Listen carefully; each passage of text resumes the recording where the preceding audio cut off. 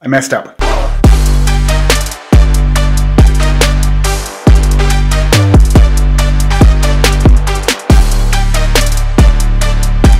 A few moments later.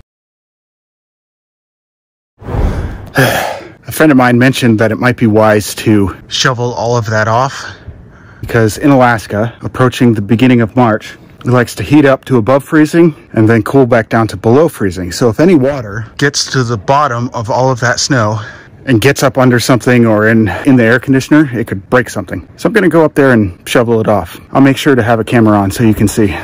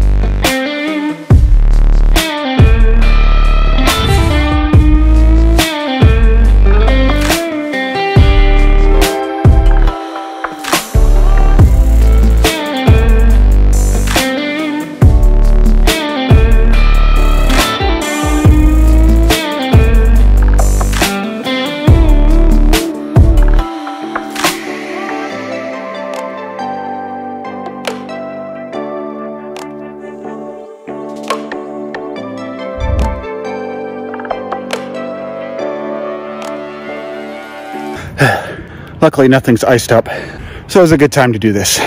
And I just wanted to point out I was wearing a safety harness equipped with moose and bear spray. Safety first.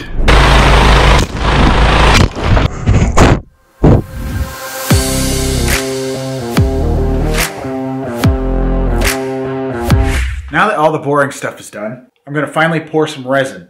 A buddy of mine commented this to prevent that from happening, I think I'm going to make like a little containment. Basically just gonna tape up these edges so if anything leaks out, it's going to stay hopefully within the perimeter of the plastic.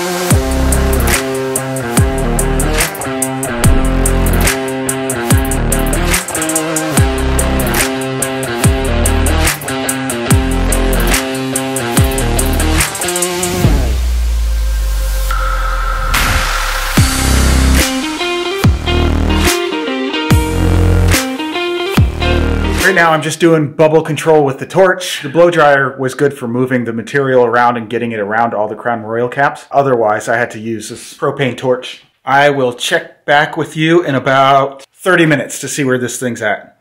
Eh. Let's check her out. Ooh, 100, ooh, 148 degrees right somewhere in there. It's throwing off heat, so I think that means it's setting up. But it is taking a while. It said 15 to 20 minutes. But that was for like a thin coat. So folks, this may take a while. Three hours later. I messed up. so the 15 to 20 minutes I was talking about, after you spread it, that's when it starts to harden. Uh, let's see, period between each additional coat. One to two coats, four to five hours. Three plus coats, 24 hours. And since this is kind of a thick pour, I can't add another coat until tomorrow. If I started putting the smaller caps on here, it would probably start to sink or get all lopsided. So I'm going to wait until tomorrow to put more caps on it.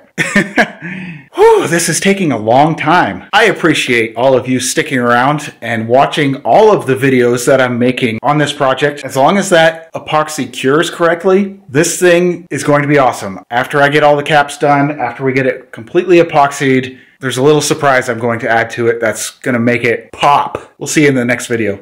Eita!